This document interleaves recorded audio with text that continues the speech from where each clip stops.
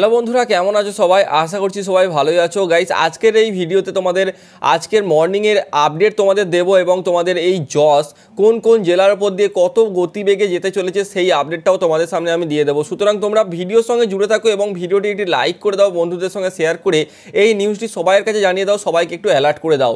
এখানে সূত্র মারফত জানা যাচ্ছে, আরও কাছে এসে গেছে জস দীঘা সমুদ্রে শুরু জলাচ্ছ্বাস সঙ্গে প্রবল হাওয়া।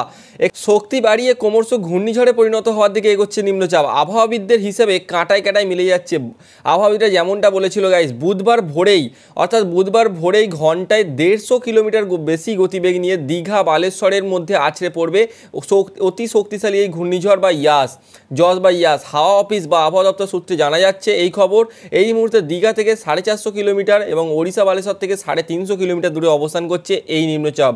দুপুরের মধ্যে শক্তিশালী ঘূর্ণিঝড়ের রূপ নেবে এবং সন্ধ্যের পরেই তা অতি শক্তিশালী ঘূর্ণিঝড় বা ভেরি সার্ভার সাইক্লোন হিসাবে পরিণত হবে। ইতিমধ্যে যদিও তার প্রভাব পড়তে শুরু করেছে দীঘায়। উপকূলে চলছে জলোচ্ছ্বাস। মঙ্গলবার সকাল থেকে কলকাতায় ও পার্শ্ববর্তী এলাকায় সামান্য রোদের ঝিলিক দেখা গেলেও ঝড়ের পূর্বাভাস টের পাওয়া গিয়েছে স্পষ্ট। প্রবল বেগে হাওয়া দিচ্ছে। যদিও জসের প্রভাব কলকাতায় খুব বেশি পড়বে না গাইস এটা কিন্তু জানা যাচ্ছে জসের প্রভাব কলকাতায় খুব বেশি পড়বে না বলেই পূর্বাভাস আলিপুর আবহাওয়া দপ্তরের। সবচেয়ে বেশি ক্ষতিগ্রস্ত হতে পারে পূর্ব মেদিনীপুর জেলা দীঘা বরাবর উপকূলবর্তী পাশের এলাকাগুলোতেও তাণ্ডব লীলা চালাতে পারে যশ।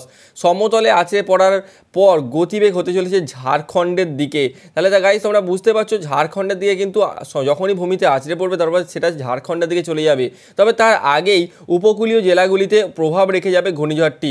উপকূলীয় মানে যেগুলো সমুদ্র নিকটবর্তী যে সমস্ত জেলাগুলো, যেমন পূর্ব মেদিনীপুর আছে, দুই মেদিনীপুর, তার সঙ্গে মানে ওই সাইডে যেই সমস্ত জায়গাগুলো আছে, সেই সমস্ত জায়গাগুলো কিন্তু প্রচুর পরিমাণে এফেক্ট করবে। এবং এর আগে শক্তিশালী ঘূর্ণিঝড় আমফানের ব্যাপক ক্ষতিগ্রস্ত হয়েছিল পূর্ব মেদিনীপুর জেলা।